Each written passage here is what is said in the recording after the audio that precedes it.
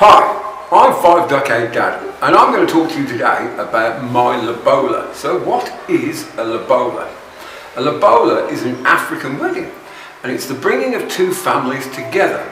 Now, why a lobola? Well, my uh, future bride is Zimbabwean and I'm here today and we're in Zimbabwe, in Harare. I'm here for a very long time uh, and part of why we're here is that we've decided, or I've asked her, to marry me uh, and to become my bride and to become my Lobola bride. So I've been to one of these back in 2020 and into 2021 we were here again for a long time.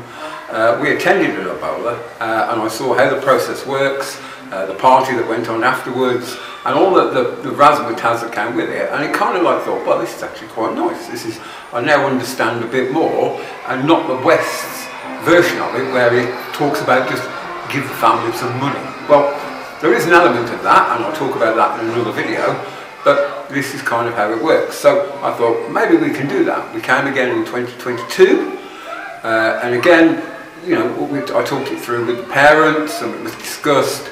Uh, a little bit of pressure, because obviously they're keen for me to do something honourable. Uh, and then I thought, well, for 2023, while we're here, we can do that. So over the next few weeks, it's the build up to that. Uh, tomorrow we're going to see the venue.